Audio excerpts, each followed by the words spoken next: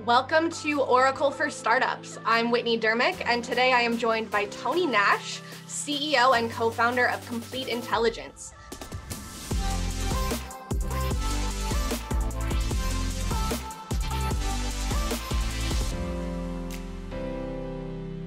Thank you for joining me, Tony.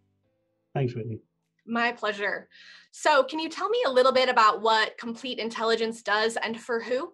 We work with global manufacturers and we help them better understand their cost and revenue environment. We'll work directly with their ERP data. Uh, we'll work with it in the cloud and help them understand the forecast for their costs and for their revenues. So they're using their exact data in their exact environment to make great decisions for their companies. I've heard what you do referred to as super forecasting, which sounds so cool. Um, which industries are best served by the super forecasting that Complete Intelligence offers? Yeah, it's, it's mostly manufacturers. So we work with chemicals firms, mining firms, electronics manufacturers, um, you know, industrial manufacturers. So people who make stuff or people who work with firms who make stuff have to know how much that stuff's going to sell for, how much it's going to cost, you know, those sorts of things. So anybody who has risk associated with a future cost or a future price would need what we do to really help them de-risk their future decisions and their planning processes. Right. Yeah, risk is important. How are how are the forecasts that you provide impacted by volatility caused by unprecedented global events, say a pandemic?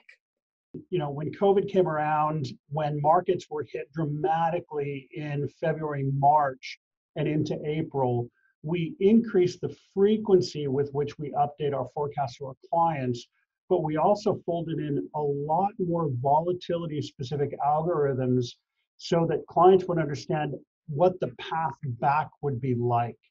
In a normal year, the let's say the cost forecasts for a major manufacturing firm can be off by up to 30%, in some cases, even wow. more. Okay. So if you're planning, if you're planning those expenses and those budgets, you have a huge variance that you've got to kind of pad in your budgets. So on average, we're looking at say a four to seven percent error rate.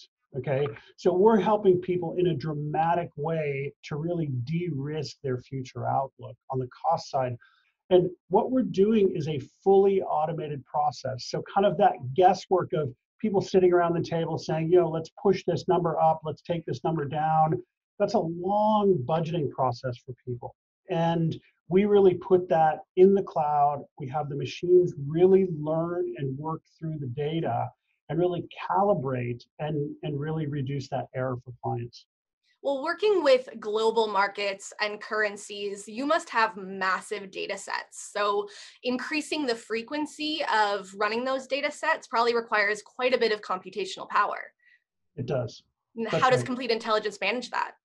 Well, and we, we do that with cloud solutions. So we work with OCI and the current generation of OCI to expand our computing capability many companies work across clouds. They work across on-prem and cloud, and so we're flexible with all of that. So um, the frequency of those updates, the frequency with which clients want an updated view of the future for different companies changes. You have really fast moving companies who want that on a really high frequency basis. You have slower moving companies who are looking at it maybe monthly. That's fine. We adjust to all of that. So, flexibility and multi cloud are two really interesting considerations for dealing with enterprise customers like you do.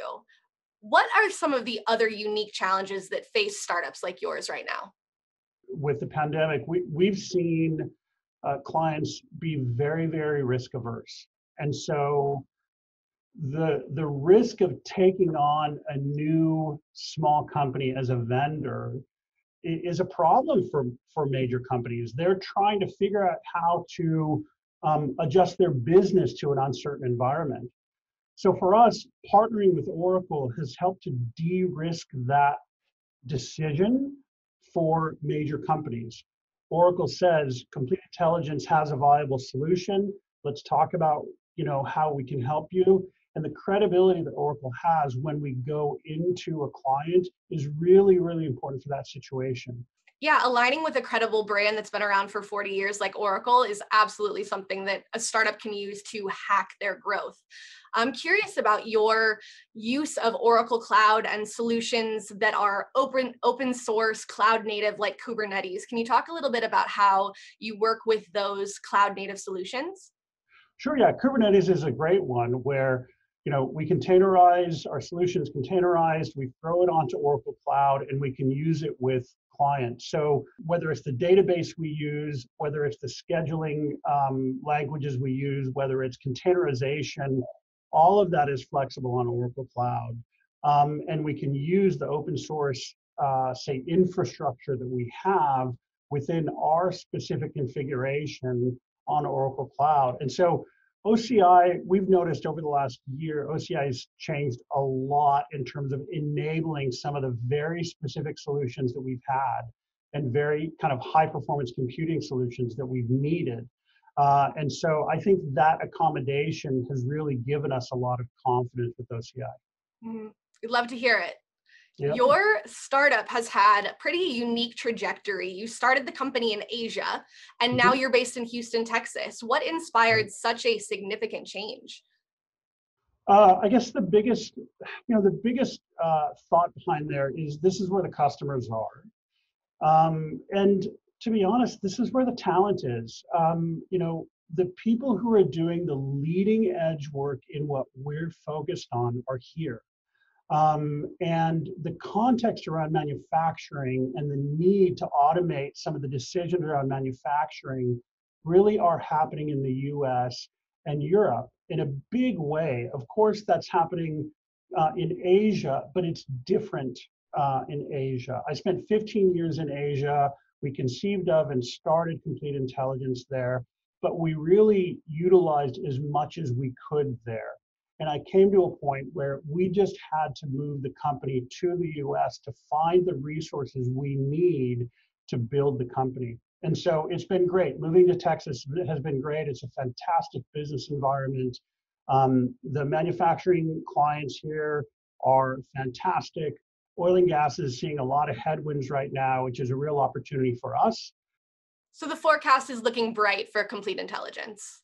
Oh, absolutely. It's, you know, again, with the right partners, we can move into the right clients. And I think any startup trying to go it alone today is going to have a really hard time. It's possible and it's probable with the right amount of work put in, but building the right partnerships, like our partnership with Oracle, has been huge in helping us to accelerate our uh, um, commercialization and our presence in the market. Absolutely. And I know that if startups want to learn more about working with Oracle, they can go to oracle.com slash startup. If they want to learn more about the exciting work that Complete Intelligence is doing, where should they go? They can go to completeintel.com. Um, we've got all of the resources there. We have a weekly newsletter. We have uh, regular video interviews with industry experts, similar to what you're doing. There are a lot of resources. Our Twitter feed is complete underscore intel as well. There's a lot there. Great. Any secret market intelligence you want to share with our viewers? um, yeah, I, I, I think, you know, the, the changes we've seen over 2020 and the, the risk and volatility we've seen over 2020, unfortunately, we don't see a return to normal soon. So the challenges that we've faced as startups and the challenges that our customers have faced in 2020 aren't necessarily going away. So this type of up and down environment uh, and the persistence that we've had to have as startups, you know, 2021 is not going to bring a, a normal back. We'll see a little bit more, but as startups, we're going to have to continue to push very, very hard to get the mind share within those endpoints. Well, thank you so much for joining me, Tony. It's been a pleasure. Thank you. Thanks very much.